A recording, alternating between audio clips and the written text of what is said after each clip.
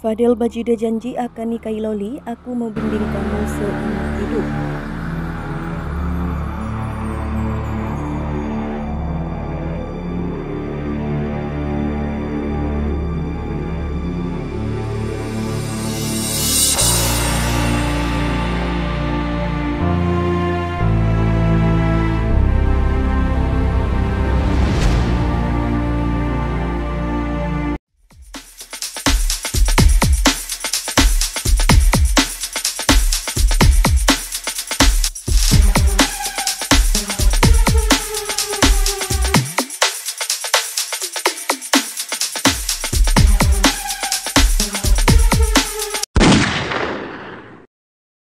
Anak sulung Nikita Mirzani, Laura Meizani atau akrab disapa Loli, kerap memamerkan kemesraan dengan Fadel Bajide.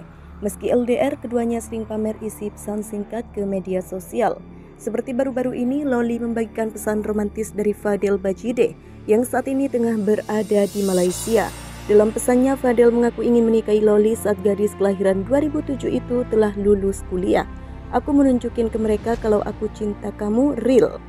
Aku bakal nikahin kamu setelah lulus kamu kuliah insya Allah dan amin, tulis Fadel.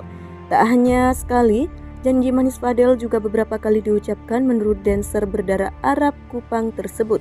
Loli adalah salah satu orang yang selama ini setia mendukungnya. Janji sayang, aku janji dari dunia ke sesama dunia.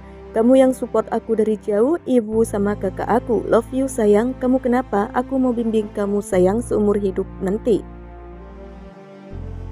Loli pun mengaku ini kali pertama dirinya diperlakukan spesial.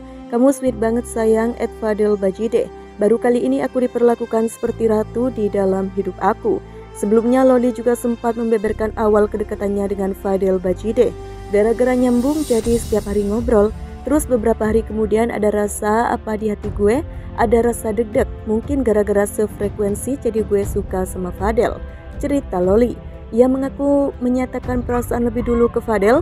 Ya udah gue bilang gue suka nih sama lo, mau nggak jadi pacar gue? Dia bilang buset gitu, lanjut Loli.